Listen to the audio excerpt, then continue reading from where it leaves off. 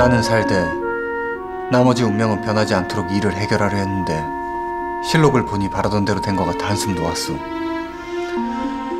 모사제인 성사제천이 옳다 싶었고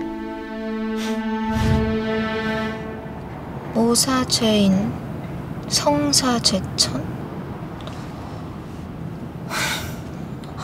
웃기잖아. 난 처음 듣는 말인데. 어떻게 내 꿈에 나온 인물이 나보다 더 수준이 높아? 한 달 후에 봅시다. 모든 게 정리되고 한양에 돌아오려면 한 달 정도 걸릴 것이오. 집에 돌아오면 찾아오겠소. 여기 올 일 없잖아요, 이제. 내 애인이 여기 있는데 왜 올 일이 없어? 애인 노릇 열심히 하겠다고 하지 않았어 아까? 나는 오늘 하루만 말하는 줄 알고. 지난번 나한테 물었던 거 기억하오. 우리 만남의 인과가 무엇이냐고. 며칠을 치열하게 생각했지만 난 아직 답을 못 찾았어. 그걸 알게 될 때까지는 난 찾아올 거야.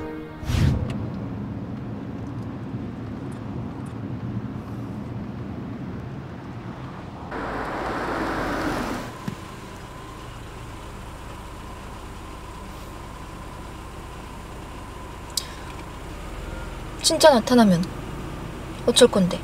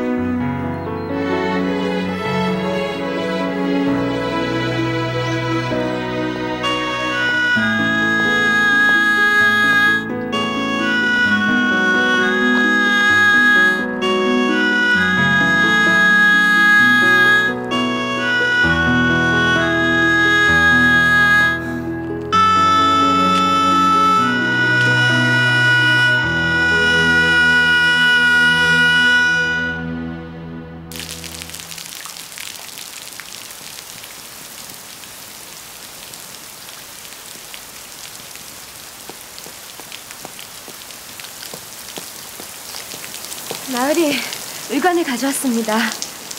갑자기 비가 내려 조금 젖었습니다. 다시 인두질을 하라 할까요? 됐다. 어차피 가는 길에 젖지 않겠느냐.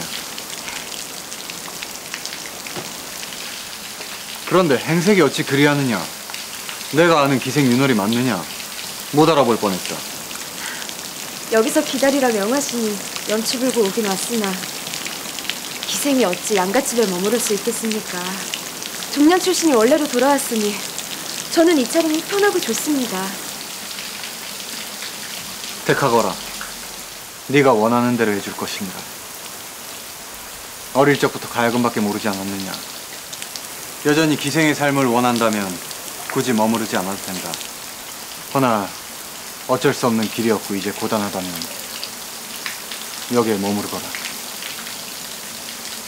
그렇다고 널 몸종으로 있게 둘 순 없고 명색이 한영 최고의 기생 아니었더냐.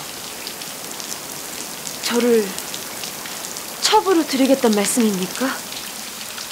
여러 방도 중에 그것도 하나가 되지 않겠느냐.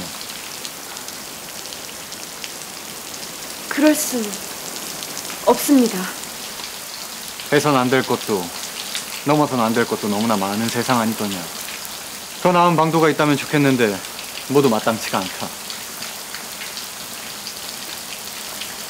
내게 신세진 것들을 조금이라도 갖고 싶고 네가 여생을 보호받고 편히 살 수 있도록 해주고 싶어하는 말이니 나으리께서 저 같은 사람이 최고로 대접받는 세상이 있다고 하셨습니다. 저를 그리로 데려가고 싶다고 하셨었어요.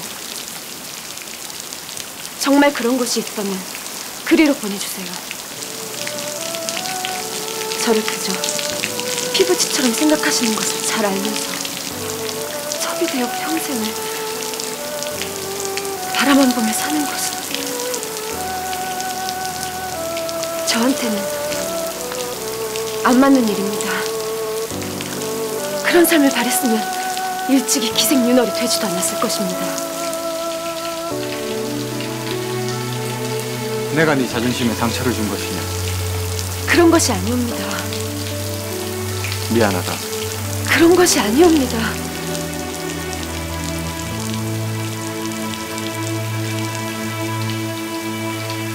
그런데 들었을 것 아니냐? 기억을 다 잃어서 내가 말했던 좋은 세상이 어딘지 모르겠다. 알기만 한다면 당장에 보내줄 텐데. 그렇다면 그 여인도 만나지 못한 것입니까? 여인. 신세가 풀 여인이 또 하나 있다고 하셨습니다. 그래서 그곳에 잠시 다녀와야 한다고. 처음 그대 모습 떠오르네요 어쩌면 다신 볼 수 없단 마음에 아파요 시간을 되돌려 그대 다시 볼 수 있다 면 미안해요. 이 말 한마디는 꼭 하고 싶은데 한 번쯤 다시 만나